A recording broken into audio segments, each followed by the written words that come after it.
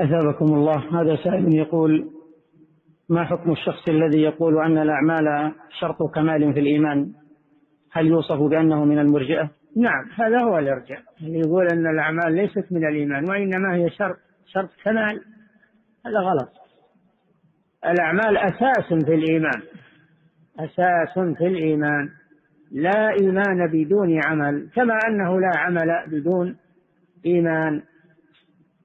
ليست مجرد شرط. يقول شرط كمال بعد ما هو شرط وجوب. لا هذا غلط هذا غلط كبير. نعم.